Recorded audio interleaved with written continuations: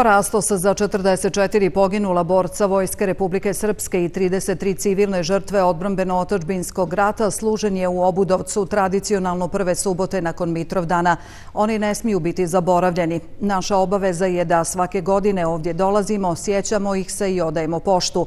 Oni su svoje živote ugradili u temelje Republike Srpske, rekao je predsjednik boračke organizacije Šamca Radovan Zoranović.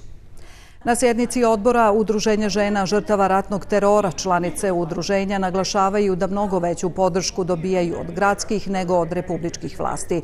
Međutim, predsjednik udruženja Božica Živković-Railić ukazala je i na pokušaj pojedinih nevladinih organizacija koje vrše pritisak na organe vlasti da izvrše smjene zakona o žrtvama ratne torture. Morate znati da je ovo udruženje u 90% to su starija populacija, veoma bolesna i svaka godina nam je teža. Imamo i onih koje su ostvarile prava, a više nisu s nama, samo što su ih ostvarile sa zakašnjenjem, tako da ima još nešto vrlo bitno.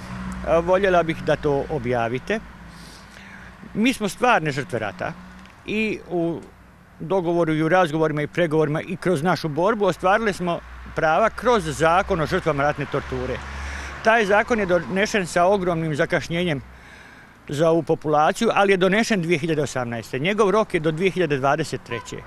Sad se pojavljuju neke druge organizacije koje nemaju veze sa žrtvama. Nici su korisnici prava, nici su donosioci zakona, ništa od toga nisu. I pojavljuju se i traže produženje roka tog zakona. Kome će se taj zakon, kome će se taj rok produživati? To postoje zle namjere tih nekih drugih nevladnih organizacija koje se finansiraju iz Brisela, i koje rade protiv srpskog naroda, koje koriste sredstva stranih ambasada. A, namjera je tih organizacija da uvedu u prava žrtava ratne torture oni koji nisu stvarno preživjeli ni rat, ni stradanja u ratu. Bez obzira o kome se radi.